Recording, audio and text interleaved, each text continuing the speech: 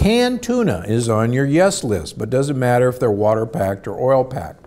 Well, if they're packed in olive oil, they're perfectly fine, but water is just fine.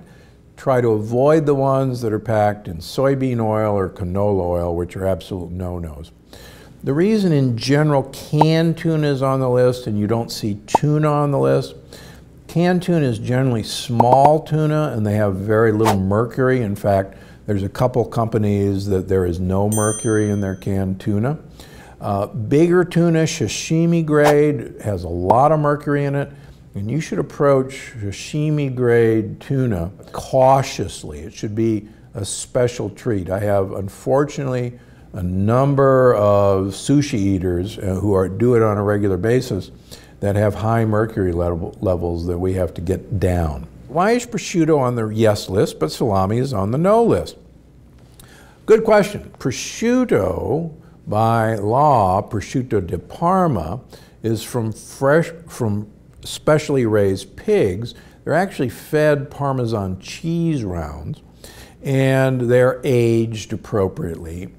Prosciutto from the United States isn't treated that way. Prosciutto from other countries is not treated that way. Salami, as a general rule, is probably fairly safe if you know who raised the pig. But we don't, in general, know the pigs. There's no control over that process here in the United States and other countries. So prosciutto di Parma that actually comes from that part of Italy uh, has exact standards on how the, what the pigs are fed.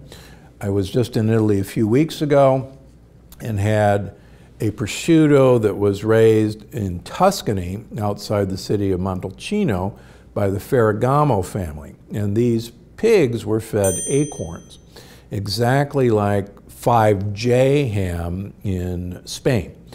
And this prosciutto is actually good for you because the fat is actually pure omega-3 fat.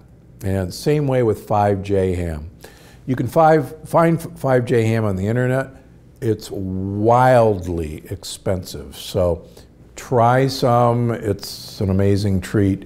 But the pigs are fed acorns. So another good source of uh, prosciutto.